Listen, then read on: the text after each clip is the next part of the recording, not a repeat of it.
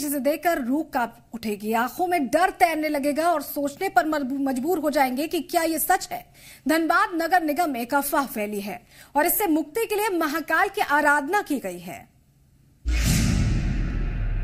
नगर निगम में भूतों का बसेरा।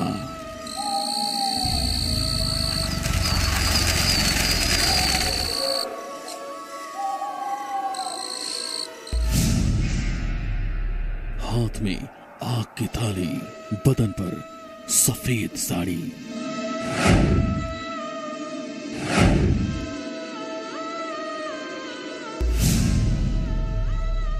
भूतिया नगर निगम से महाकाल दिलाएँगे मुक्ति।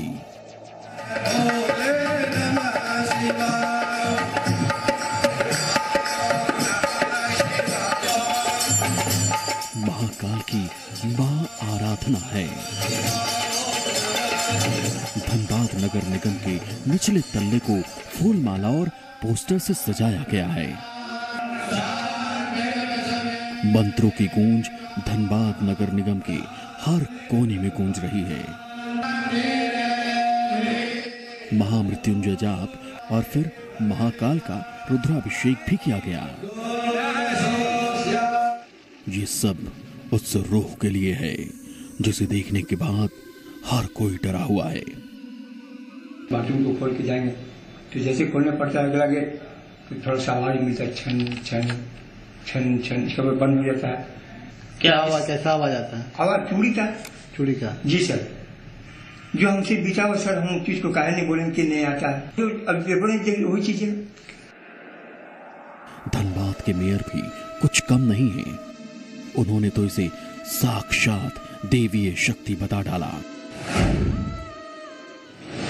कोई महामृत्युंजय की बात नहीं है। यज्ञ हवन अपना होते रहना है।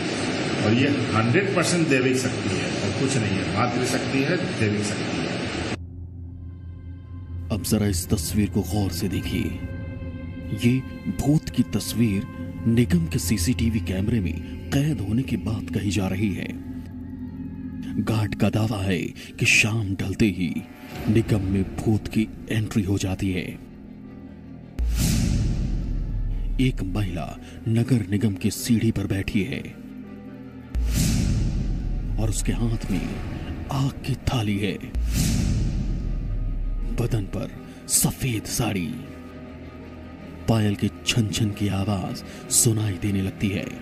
लिहाजा धनबाद नगर निगम के कर्मियों ने महाकाल की आराधना की। भूत भगाने के लिए अनुष्ठान किए गए।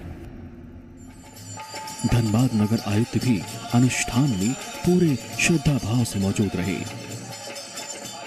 बावजूद वो भूतिया होने की खबर को मानने से इनकार कर रहे हैं।